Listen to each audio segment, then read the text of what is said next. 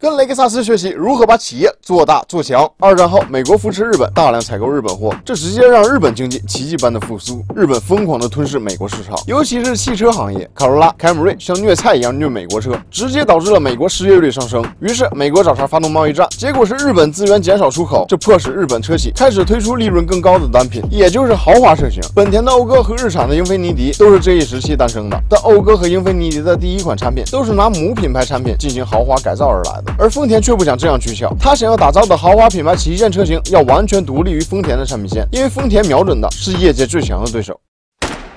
奔驰和宝马负责雷克萨斯项目的叫丰田英二，这个项目名称定为 Circle F。Circle F 的总工程师铃木一郎提出了一个小目标，最高速度达二百五十公里每小时，奔驰 S 二百一十公里每小时左右，油耗十点五升每百公里，奔驰 S 十一点八升每百公里，零点二八到零点二九的风阻系数，奔驰 S 零点三二，速度九十六公里每小时，五十八分贝的噪音水平，奔驰 S 六十分贝。这意思就好像有人说。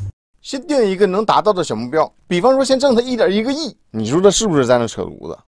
一九八九年一月的北美车展上，雷克萨斯品牌正式亮相，同时带来首款车型 LS 四百。就像所有的新生事物一样，雷克萨斯遭到了所有人质疑，孩子脸太大了，咋办呢？有种吧！所以在一九八九年五月，邀请了全球媒体进行试驾。哎，老师来了，里边请老师，辛苦了，拿着拿，老师。显然，LS 四百的豪华配置和优秀的驾乘体验打动了这些车评人。总有人在后台问我：“现在它来了，你受得了吗？”我为这句话负责。同时出名的还有那个贝塔广告。在上市后第二年，LS 四百在美国的销量就超越奔驰 S、宝马七系。LS 四百曾召回过部分车辆，雷克萨斯决定上门服务，在还车时不仅会帮客户把车洗干净，还会免费为客户把油箱加满。这种贴心的服务赢得了口碑。进入到二十世纪，雷克萨斯干了两件赔本赚吆喝的事儿。一个是成立 F 运动部门，F 这个字母来自于雷克萨斯工程师矢口信彦创立的富士赛道。F 系列的第一款车是2008年问世的 ISF，5.0 升 V8，417 马力。为什么要整这个部门？因为奔驰、宝马的 AMG 和 M。第二件事是2010年推出了超跑 LFA，可以说丰田把所有的科技成果都放在了这辆车上。LFA 整整研发了十年，限量五百台，没回本，但这辆车非常有意义。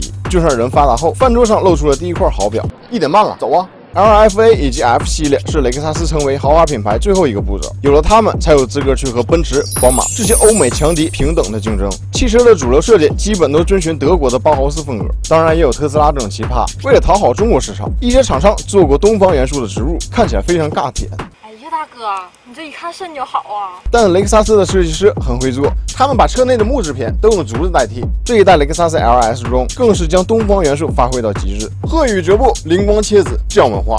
所以，当你的企业已经走出来一条路后，还想要做大做强，那么你需要来一点不一样的风格。